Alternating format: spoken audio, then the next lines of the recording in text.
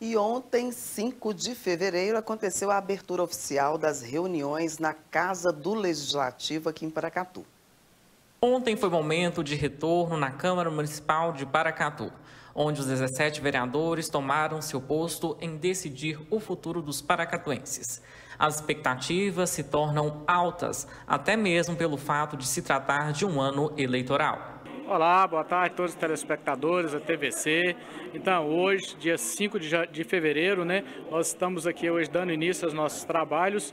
É, vamos ter aí um, um ano muito positivo, eu creio que um ano é, de muitos trabalhos visando é, levar grandes melhorias aí para a nossa população, para nossos munícipes.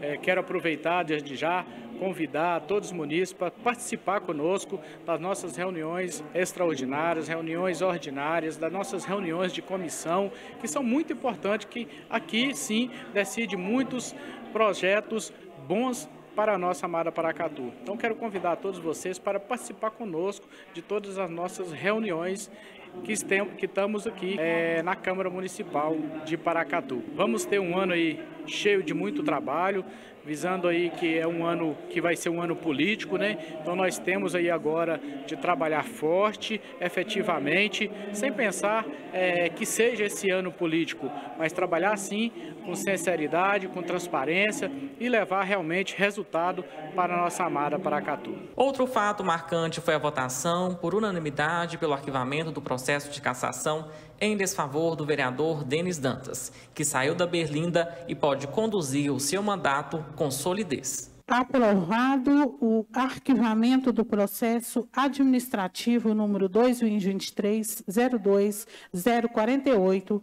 que contém denúncia por procedimento incompatível com a dignidade da Câmara e quebra de decoro parlamentar, de autoria da cidadã eleitora Fernanda Batista de Souza.